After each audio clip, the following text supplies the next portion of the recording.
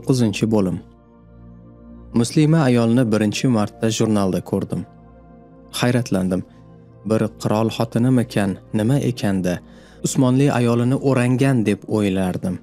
Abdulhamidning xotinimidey kim edi? Hali ham o'sha ko'zlar xayolimdadir biroq musulmon erkaklarni qo'pol deb bilaman. Urushishni ahmoqona ishlar qilishni yoqtirishadi. Muslima ayolning biror jozibasi yo'q deb o'ylardim. Yanglishganimni 1961 yilda istanbulga borgach angladim. Erkaklarini yoqtirmasdim deya fikr bildirdi bir belgiyalik keksa erkak. Belgiyalik boshqa bir ayol esa quyidagi fikrni bildirdi. Men muslima ayolni har doim qafas ichida deb o'ylardim. Qandaydir roman o'qidim balki o'sha romandan ta'sirlangandirman. Hozirda mening shifokorim bir muslima ayol. Juda hayratlanarli. A erkaklarini qo'pol deyishadi ammo menga nisbatan har doim janob edilar. Yolg'on gapirsam iso ko'rib turibdi. Uzun bo'yli yashil ko'zli xotin o'z javobi bilan hammani shoshirib qo'ydi. Men musulmonlarning ayolini ham erkagini ham to'ng'iz sifatida ko'raman. Hatto to'ng'iz ulardan ko'ra yaxshiroq. Zakiya yozuvchining musulmon ekanligini aytib shu orqali bu ayolni hijolat tortib qolishini kutdi. Biroq ayol bilaman nega buni aytishni lozim topdingiz? deyishi bilan darhol boshqa bir xotinning suhbatiga o'tishdi. Mening barcha ijarachilarim turk musulmonlari bo'lishgan. Erkaklarini ham ayollarini ham juda yaxshi ko'raman. Yoshligimda ayollarini qafas ichidagi yarador qoplonga o'xshatardim. Erkaklarini ham uzun bo'yli nihoyatda kelishgan mo'ylovli qirol kabi tasavvur qilardim. Kichkinaligimda oyimga turk yigitiga turmushga chiqaman der ekanman. Oyim yashaydigan qishloq ahli katolik mazhabida edi. O'shanda onam menga shunday qilsang seni o'ldiraman degandi. Bundan juda qo'rqardimki so'ngra yigirma yil avval bir turk bilan besh yil yashadim. Onam vafot etgan edi. Eshitmasdi. Turklar haqida yaxshi munosabatdaligimga kelsak otam menga barbarossaning hayotini o'qib bergandi. Har holda shundan ta'sirlangandim. Aks holda mening turk nomini eshitishim o'sha yoshda mumkin emasdi dedi navbatdagi bir keksa ayol. Yozuvchi shu tariqa 30 kishining fikrini eshitdi. Aks ta'sirini ko'rishi hayollari e'tiroflari me'yorida edi. Musulmon keksalarda ham xuddi shunday bir so'rovnomani nasroniylik nomi bilan o'tkazilsa edi har holda ozmi ko'pmi ayni shu ko'rinishda bo'lar bo'lmas gapiradiganlar ham chiqardi. Ijobiy gapiradiganlar hamda salbiy munosabatda bo'luvchilar hamma joyda deyarli bir xil edi. Bundaylar bugungi holat bilan olganda me'yoriy ko'rinishiga ega edi. Yozuvchi Belgiyani tomosha qilishni xohladi. Avvallari ham ko'p kelgandi, biroq hech bir yerni tomosha qila olmagan edi. Bu safar uni Nodira aylantirdi. Bryusselni kezishgan damlarida yozuvchi hayratdan qotib qoldi. Go'yo Istanbul, Mahmud podsho bu yerga ko'chirilgan u yoniga Qohira bozorini ham olishgandek edi. Turkcha nomlardagi do'kon bor edi. Arabchalari ham yo'q emas edi. Ko'chalarning har yer har yerida axlat uyib qo'yilgandi. Bu tomondan istanbulning eski holiga pulni cho'ntakka urganlar bo'lganligi uchun ishchilarga pul bermagani jxp davridagi ahvoliga o'xshar edi. Faqat gent shahrigina xuddi istanbulning yangi ko'rinishi kabi toza edi. Yozuvchi Yevropani kezarkan o'z vataniga bo'lgan muhabbati yanada ortar edi. Turkiya naqadar go'zal o'lka. Bu go'zallikni Yevropani kezmasidan avval ko'rmagan edi. Buning uchun ich-ichidan doim so'rardi. Kim aybdor? Kim aybdor? Nodira yo'li bo'yi o'z xotiralarini aytib berardi. Xotiralaridan biri shunday edi. Bir kuni juda yomon xastalandim. Belgiyalik Tasula xonim degan bir hamshira bor edi. Menga ukol qilish uchun uyimizga kelardi. Juda tang ahvolda edi. Kunlardan birida menga ukol qilib bo'lganidan so'ng men yotgan o'rindiqning yoniga cho'kdi. Nodira xonim menga Allohdan gapir. U haqiqatdan ham bormi? Bor bo'lsa uni topay. Oxirgi urinishlarimni boshimdan o'tkazyapman. Bu dunyoga nega kelganligimni tushuna olmayapman. Hech qachon bo'lmasaydim deyman. Juda baxtsizman. Menga ziyo bera olasanmi? Kasal edim. Gapirishga holim ham yo'q edi. Penitsilindan juda yomon darajada zaharlangan edim. Penitsilin ukoli sinovdan o'tkazilmasdan qo'yilmasdi. Dorixonachi ham men ham buni bilmagan edik. Sinab ko'rmasdan ukol qildirgandim. Bir necha oy kasalxonada yotdim. Uyga endigina kelgandim. Tasula xonimga javob berish uchun zo'r bazo'r o'rnimdan turib kravatimga o'tirdim. Sho'rlik ayolning g'arib va abgor ahvoli meni juda ezgandi. Oilali holiga umidlari puchga chiqqan ayol dardlarini tasula siymosida ko'rdim his etdim. Shuningdek insonning koinot bilan o'zi orasida bir rishta borligini tushunganda qanday chuqur izlanishga tushishini ham quloq sol. Rasula hammamizning o'zimizga xos xususiyatimiz bordir ammo bizga tegishli narsalar bo'lishiga qaramasdan biz o'zimizniki emasmiz. Bizni yaratish allohni o'ziga oid hikmat. Biz o'zimizniki emasmiz ya'ni o'z ustimizda hukm chiqarmoqqa ega emasmiz seni yaratar ekan sendan so'ramaydi. Zotan u vaqtda sen yo'q eding. Bu yerda faqatgina allohga oid o'ta mavhum o'ta chuqur o'ta muammoli mavzular bor. Biz o'zimizga tushgan vazifa bilan shug'ullanmog'imiz lozim. Bizni nega yaratdi deganimiz bilan qo'limizdan hech narsa kelmaydi va nihoyat har bir huquqimiz o'ziga oid. Tushunsangchi hattoki tirnog'imizni ham o'zimiz yaratmadik. Eng muhimi allohni tan olishimiz unga qul bo'lishimizdir.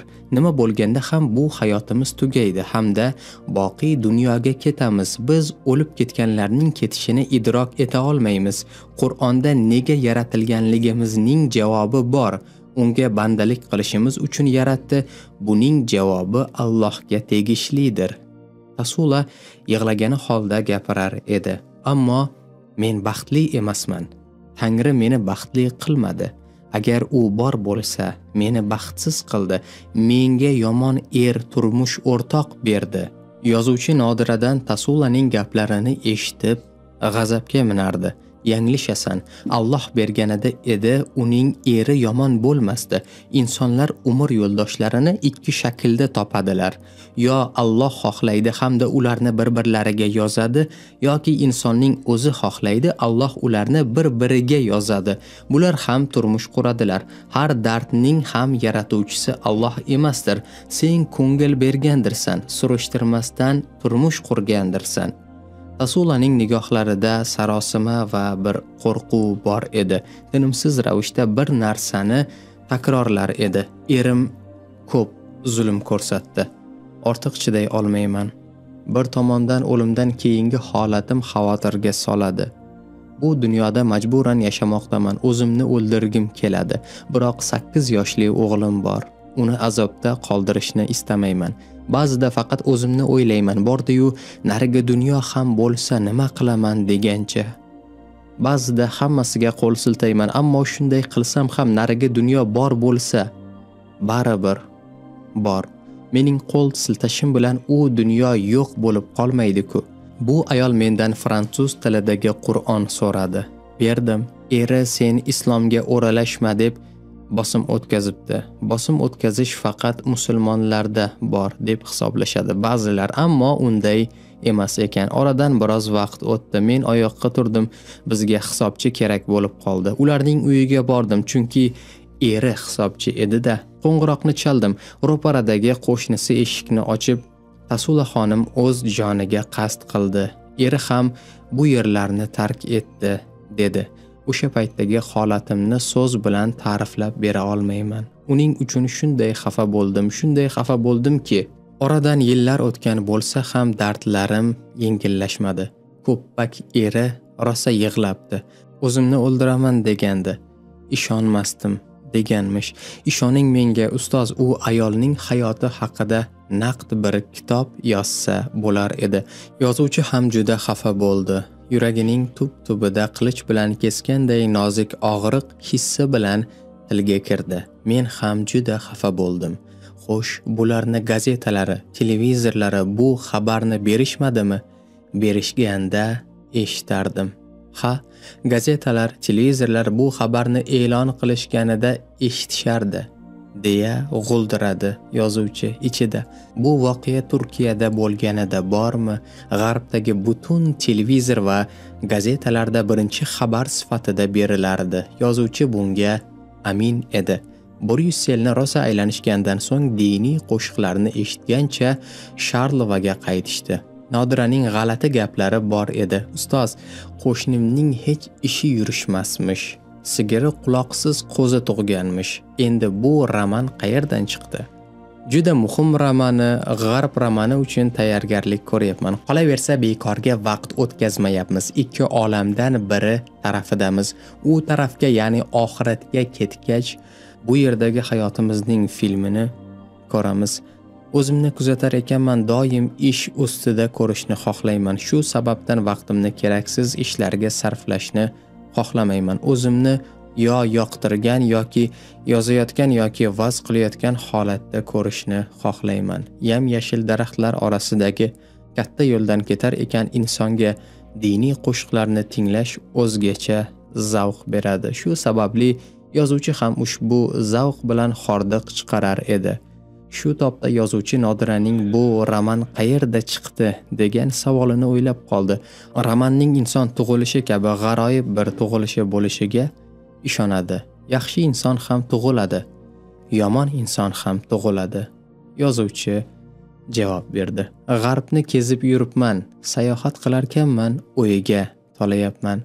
Tuyg'ularimni yozishim kerakligini his qildim. Sening hayotingda men uchun qiziq bo'lgan tomonlar bor. Sen 16 yoshingda ko'p ishlarni uddalagan ekansan. 20 ga kirganingda ishchilar olgan ekansan. Kichik yoshingdan beri namoz o'qirmishsan oilang istamasa ham ering bilan turmush qurgan ekansan. G'arbliklarning seni yoqtirishlaridan ham hayratga tushdim. Buning ustiga atigi boshlang'ich maktabni bitirgansan. Sening kamol topish yo'lingni albatta o'rganib o'quvchilarimga ko'rsatishim kerak. Kitobxonlarim bilan deyarli bir xil qarashga egamiz. Ular qandaydir juda qiziq voqea bo'lsa menga yozib yuborishadi. Men ham qiziq bir voqea ko'rsam ularga yozaman. Kitobni san'at uchun yozmayman. Insoniyatga foydam bo'lsin deya yozaman. G'oyam adabiyot bo'lsa san'at uchun yozadigan bo'lsam allohning izni bilan uni ham uddasidan chiqaman. Faqat hozircha san'at uchun yozib adabiyot go'zalligi uchun jon kuydirish haqida o'ylayotganim yo'q. Ammo adabiy yo'sinda bo'lishiga ham ahamiyat beraman. Qani? Borgunimizcha voqealardan so'zlay olganing qadar aytib ber. Nimani aytib beray? O'zingda katta taassurot qoldirganlardan birini. Advokat haqida aytib beray. U hozir sizning ham advokatingiz. Bir kuni uning yoniga bordim. Namoz vaqtim o'tib ketayotgan edi. Menga namoz o'qib olishim uchun vaqtincha bir joy bera olasizmi janob? dedim. Boloxonaga o'xshash bir joyni ko'rsatdi. Men borib namozimni o'qidim qaytib keldim. U g'alati bir shaklda xonim siz nima qilayotgan edingiz? Siz qilgan ish meni ko'nglimga shunday huzur berdiki shu yerdan sizga ko'z uzmasdan qarab turdim deb so'radi. Ibodat qildim. Biz har kuni besh mahal namoz o'qiymiz. Bu ibodatlar alloh bilan uchrashmoqqa o'xshaydi deya javob berdim. Bu qanday ibodatki siz o'qidingiz? Men esa rohatlandim. Bu ibodatni har doim qilasizmi? dedi yana qiziqib ha vafot etgunimizgacha faqat ayollar har oy biroz tanaffus qilishadi dedim. Yana nimalar qilasizlar? So'ragan bo'ldi tag'in. Har yili ro'za tutamiz zakot beramiz. Islomda zakot bermaganga namoz o'qimaganga mo'min deyilmaydi. Mo'min deb iymon bilan yashagan allohning barcha amrlarini to'la to'kis bajo qilgan insonga aytiladi. Zakot deganingiz nima? Pulimizdan mol davlatimizdan belgilangan miqdorni faqirlarga beramiz. Cherkov badaliga o'xshashmi? Yo'q bizda shaxsiy yordamlar hamda zakot boshqa boshqachadir. Juda ham qiziq. Tayyor pulingizdan berasiz shundaymi? Qiziqsinib so'radi advokat. Ha qirqdan birini mutlaqo muntazam ravishda berib boramiz. Hech ham qaytib so'ramaysiz. Shundaymi? Albatta so'ramaymiz. Zakotni faqirga berish bilan allohga bergan bo'lamiz. Zotan zakot faqirning haqqidir. Islom men uchun juda qiziq tuyulyapti. Men islomni o'rganmoqchiman. Menga yordam berasizmi? Masalan sizda fransuz tilidagi qur'on bormi? Albatta bor. Sizga olib kelib beraman faqat ichi qanaqaligi haqida aniq bir narsa deya olmayman. Mana shu hodisa meni juda hayron qoldirdi ustoz. Bu yaqinda bo'ldi. Unga hali ham qur'onni bera olmadim. Fransuz tiliga o'girilgan biror roman hadya qilishni ham juda xohlardim balki bordir. Faqat men bilmayman. Parijda mavlono kitoblar uyi sizning kitoblaringizni fransuz tilidagi tarjima qilmoqchi edi. Mana 2011 yil bo'ldiki hali tarjima qilinmadi. Tarjima qilinsa olib ko'pchilikka sovg'a qilardim. Alloh kibrli bo'lmagan yaxshi odamlarga hidoyat eshigini ochadi.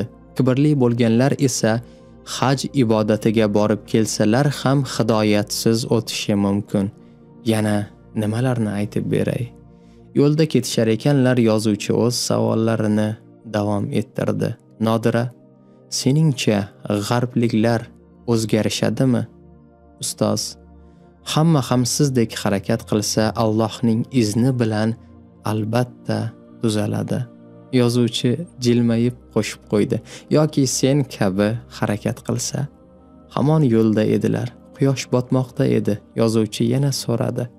Nodira sen hech sevib qolganmisan? Kechir sevgan eding. Aytib bera olasanmi? Ishq davridan qanday omon o'tding? Bu savolni sevib qolib o'zini yo'qotib qo'yganlar uchun so'rayapman. Nodira javob bermasdi.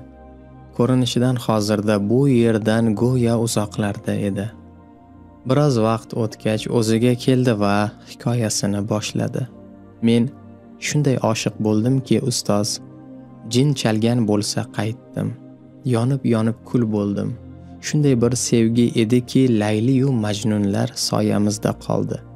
Hech qutulmagan bunga hali tayyor bo'lmagan bir daqiqa ichida oshiq bo'ldim qoldim. Dunyolar o'zgardi.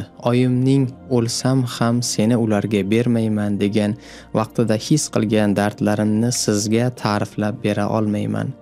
Nafas ola olmas uyquga keta olmas o'lib o'la olmasdim. Es hushini yig'ib olgan qiz edim. Uyimdagilar berishmasa qochib ketaman deydiganlardan emas edim. Shunday bo'lsa hamki oyim bermayman deganidan so'ng yashamayotgan edim.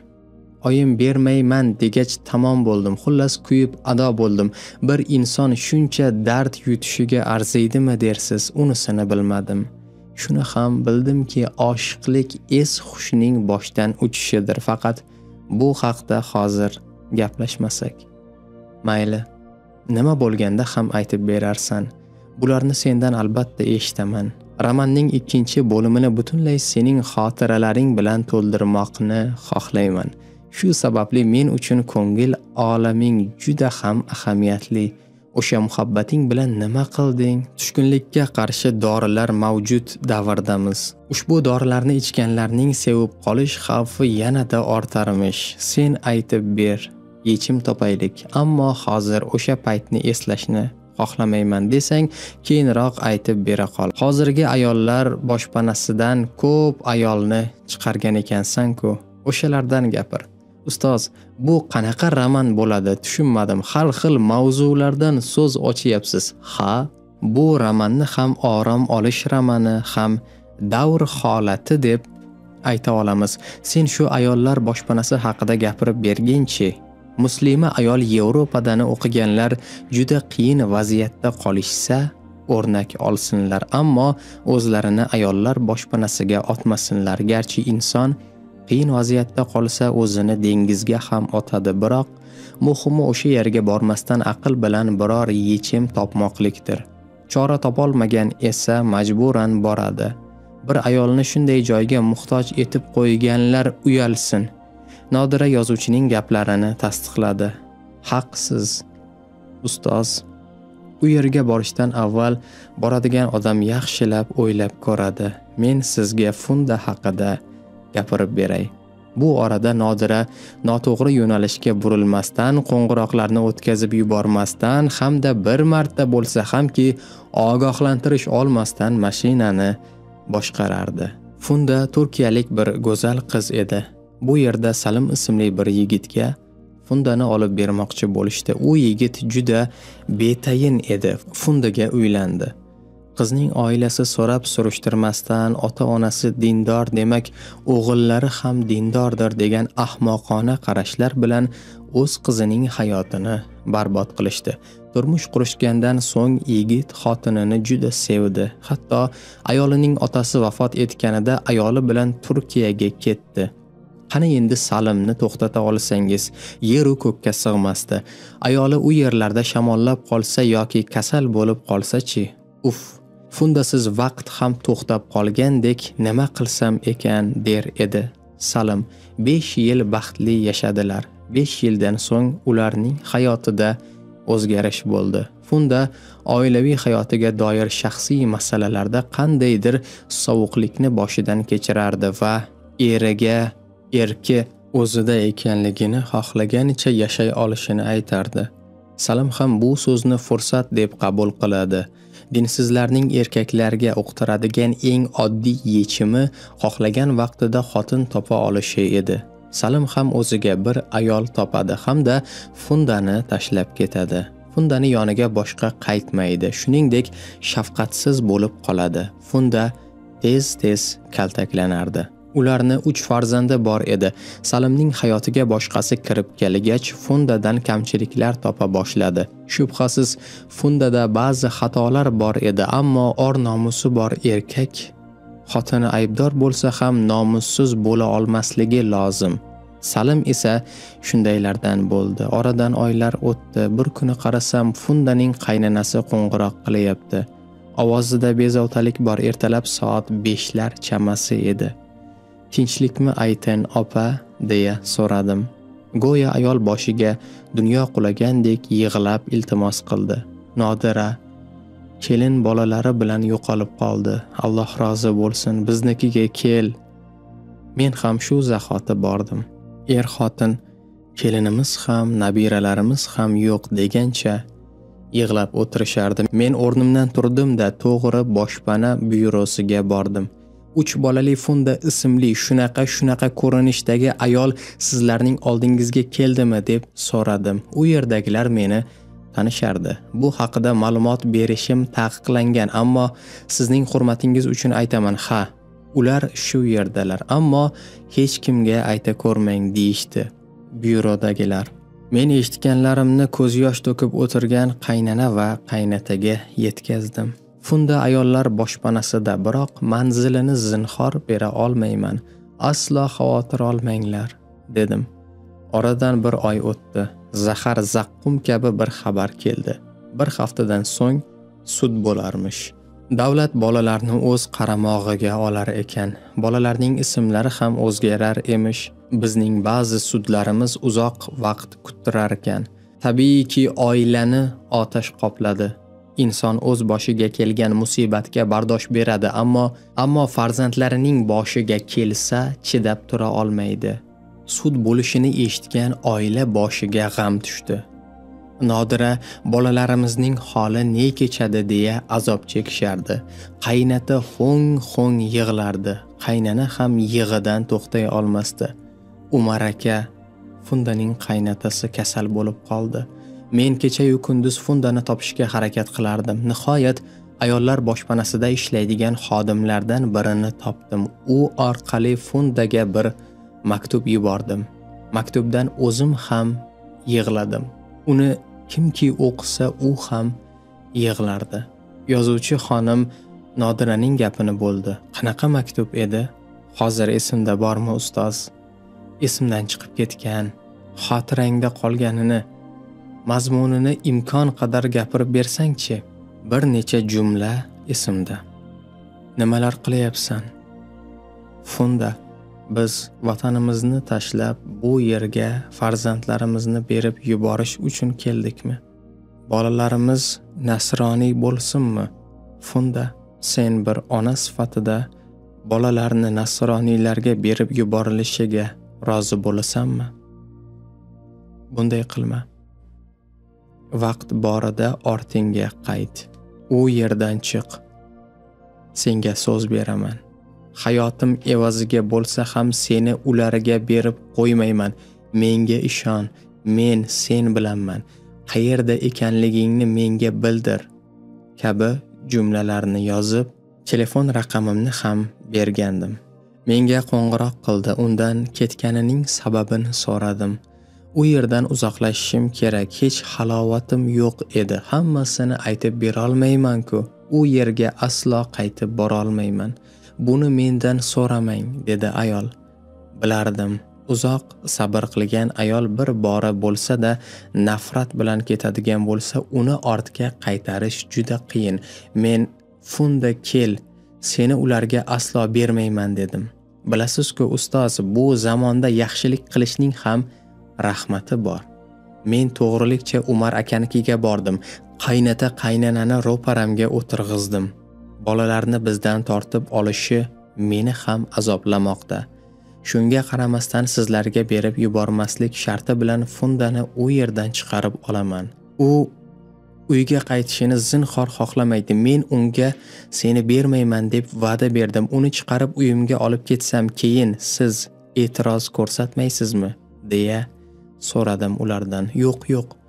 Nodira farzandlarimizni u yerdan qutqarib ol. Keyin nima qilsa qilsin aslo aralashmaymiz deyishdi. Umar aka so'z berasizmi? Qarang siz bilan shuncha yillik do'stligimiz bor. Do'stligimiz buzilishini xohlamayman fundani olib kelaman ammo uni mendan olishga urinsangiz o'lsam ham u rozi bo'lmaguncha sizga bermayman. Shuni bilib qo'ying. Chunki shunga qarab fundaga so'z beraman deya qayta ta'kidladim. Xo'p xo'p singlim xo'p. Sen nevaralarimni ol keyin nimani xohlasang shuni qil deyishdi. Men men ularga ishondim. Funda bilan ham gaplashgandim. Funda xo'p sizga ishonganim uchun boraman dedi. Bir kafega uchrashuv belgiladik. Mendan mashinangizni markasi qanaqa necha kishi bo'lib kelasiz kabi bezdiruvchi savollarni so'radi. Ayollar boshpanasi bog'da bo'lsa uchrashuvni tog'da belgilagandik. Funda bilan gaplashdik. Unga necha martalab seni ering tomonga berib qo'ymayman dedim. U ham menga ishonib gapimni qabul qildi. Oldim. Bolalari bilan uyimga olib keldim. Bu aytganimdek osonlik bilan bo'lmadi. Necha kunlab yugur yugur bilan ming azob bilan chiqarib oldim. Erining oilasiga ham xushxabarni yetkazdim. Bolalarni olib ularnikiga bordim. Ko'z yosh to'kdilar nevaralarini o'pdilar hidlariga to'ydilar meni duo qilishdi. Yaxshi hammasi yaxshi ketayotgan edi. Bir necha hafta davomida yaxshi orom olmagan edim. Men ham yengil nafas olib o'sha kecha shirin uyquga ketgandim. Uch bolani nasroniy bo'lishdan qutqarmoq nima degani? Inson bu ishidan juda mamnun bo'ladi. Bunday rohatlanish qanday bo'lishini bilasizmi? Issiq. Juda ham issiq kunda dengizda uxlamoqdek gap. Shundan so'ng mening uyimda yashashardi.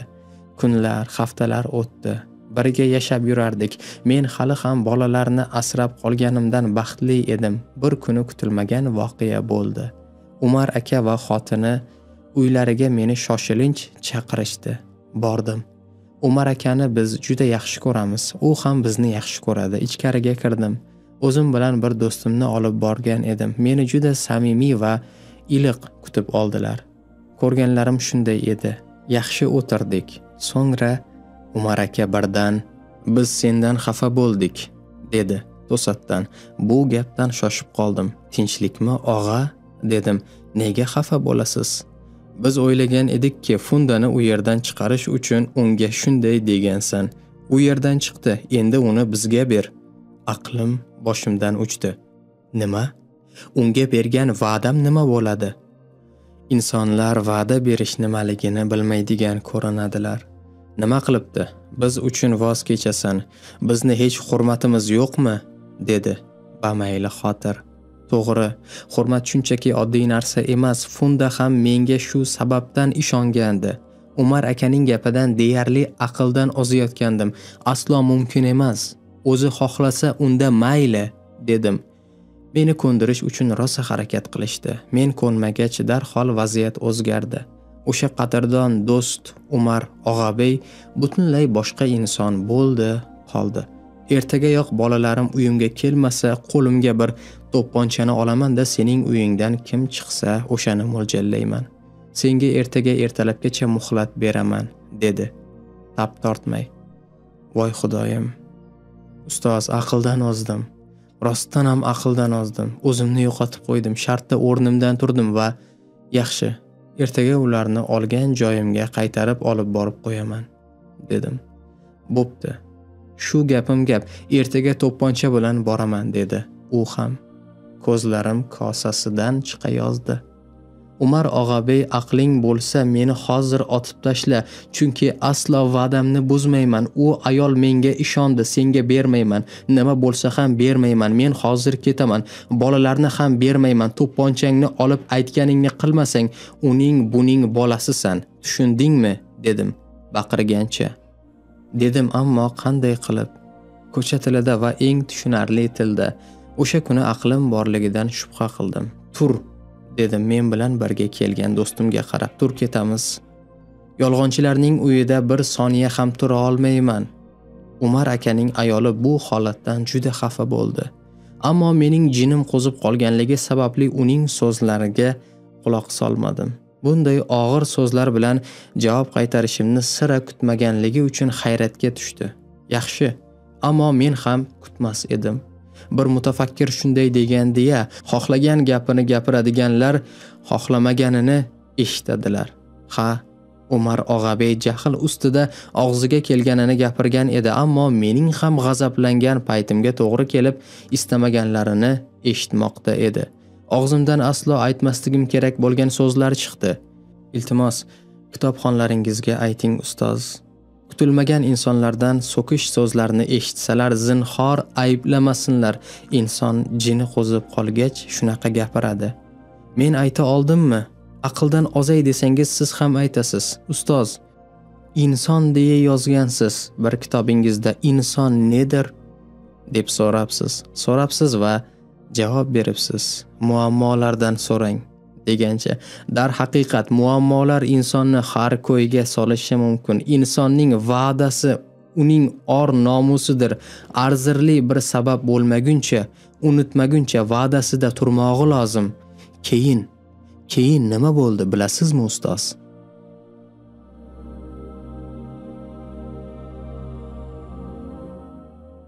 To'qqizinchi bo'lim. Tugadi.